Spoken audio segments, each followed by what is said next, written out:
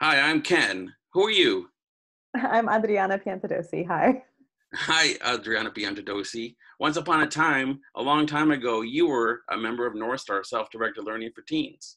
Mm-hmm. Back in What- the day, Back in the day, what what were those years? Do you remember back when you were a member?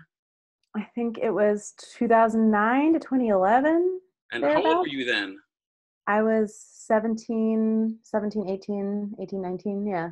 All right, and that makes you old now. You're a grown up. I'm 28 now. Yes. All right, and uh, and what are you doing with your life these days as a grown up? I currently work as the registrar at the Northampton Community Music Center, which is a local nonprofit arts education organization. And I just got accepted to Smith College with a full scholarship to transfer uh, into the Ada Comstock Scholar Program. Wow, you're a grown up, and you're headed to to Smith College as an adult student. Yeah. Um, so I bet homeschooling a long time ago hardly matters anymore to you.